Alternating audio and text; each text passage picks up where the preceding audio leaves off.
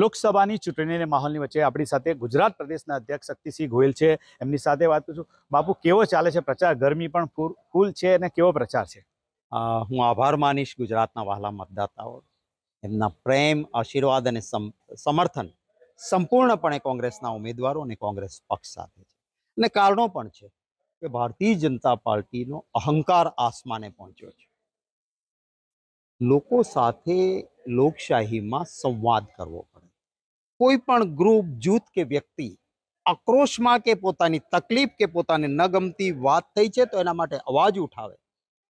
તો લોકશાહીમાં સત્તામાં પક્ષ હોય, નેતા હોય કે રાજકીય પક્ષ હોય, એને પહેલાં સંવાદ કરવો જોઈએ, સંઘર્ષ નહીં. ભારતીય જનતા પાર્ટી મતો મળે છે એટલે એટલા અહંકારમાં છે એ સંઘર્ષ કરે છે, સંવાદ નહીં. પહેલાં પાટીદાર આંદોલન થયું. ચૌદ ચૌદ પાટીદાર દીકરા શહીદ થયા. સંવાદ નહીં કર્યો. બહેનો દીકરીઓને પાટીદારના ઘરમાંથી કાઢીને મારવાનું પાપ કર્યું. દેશદ્રોહીઓના કેસ કર્યા. સંઘર્ષ કર્યો. જુનાગઢમાં એક કોળી દીકરીનું મૃત્યુ થાય છે. કોળી જ્ઞાતિના આગેવાનો ન્યાય માગે. સંઘર્ષ, સંવાદ નહીં. ઉનામાં દલિત પર થાય.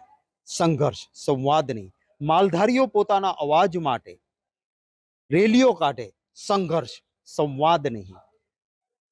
દેશની બહેનો દીકરીઓનું કોઈ એક જાતિ વર્ગ નહીં. એમાં બધાનો સમાવેશ થાય એ રીતે રાજકોટના ઉમેદવાર અહંકારથી દેશની બહેનો દીકરીઓનું અપમાન થાય, લાંછન લાગે એવી વાત કરે. બધા જ લોકો આક્રોશિત થઈને અવાજ ઉઠાવે.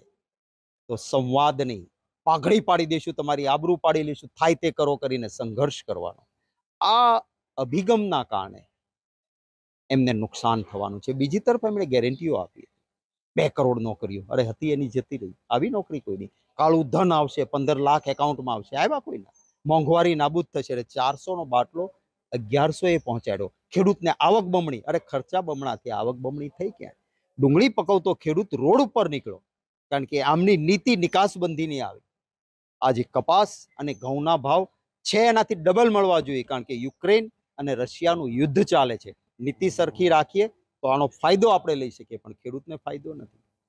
ફિક્સ પગારનો કર્મચારી આઉટસોર્સિંગ વાળા કર્મચારી, જૂની પેન્શન યોજના માંગતા કર્મચારી, આંગણવાડીની બહેનો, વાત કરવા નીકળ્યા કે અમારી વાત સાંભળો તો સંઘર્ષ, સંવાદ નહીં. એટલે આ બધા મુદ્દાઓ છે, સામે અમારો એક સકારાત્મક એજન્ડા છે. કે ત્રીસ લાખ નોકરીઓ ખાલી છે, કોંગ્રેસની સરકાર બને, એક ઝાટકે ભરી દઈશું. ડિગ્રી વાળો હશે, એને વર્ષે એક લાખ રૂપિયાનું સ્ટાઇફંડ આપીશું. તો એ સકારાત્મક એજન્ડી જીએસટી અને ઇન્કમ ટેક્સ આજે લોકો ઉપર ત્રાસ ગુજારે છે. અમે કહ્યું છે કે આ ઇન્સ્પેક્ટર રાજ ખતમ કરીને કોઈ વેપારી છે, કોઈ આતંકવાદી નથી, એને તકલીફ ન પડે. એટલે એક સકારાત્મક મુદ્દા પણ છે એના કારણે સાથ અને સ્મરણ મારે સમયની મર્યાદા એક એક નિલેશ કુંભાણીનો જે મામલો જે છે એ લઈને કોંગ્રેસને ખબર કેમ ના પડી? ખાસ કરીને જે આખો મામલો છે એ બહાર આવ્યો. તો એ મામલો કેવી રીતે ખબર કોંગ્રેસને વહેલી કેમ ખબર ના પડી? કારણ કે એવું કહેવાય છે કે કેટલા દિવસથી આ જે પ્લાનિંગ ચાલતું હતું કે એ ઉમેદવારી પાછી ખેંચશે અથવા તો જે આખો મામલો શું છે? તમે અત્યારે મારી સામે ઊભા છો. તમારી દિલનો એક્સરે તો હું કરી ના શકું. તમે અહીંથી બહાર નીકળો. અને તમે કોઈ લાલચ કે ડરની અંદર આવી જાઓ અને તમે કોઈ પગલું ભરો, તો એની ગેરંટી કોણ દે?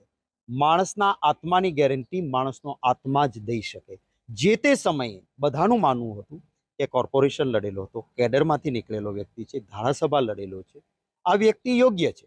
જે તે સમયે જે સંજોગતા જોઈને લાગ્યું હોય, એમની રેલીઓ થતી હતી, પ્રચાર કાર્ય ચાલુ હતું, ભાજપ પર હમલા હલ્લાબોલ કરતા હતા ફોર્મ રદ થયા પછી પણ બહાર આવીને તમને લોકોને એમણે ઇન્ટરવ્યૂ આપ્યો કે મારા ઉપર ખૂબ ભાજપનું દબાણ હતું.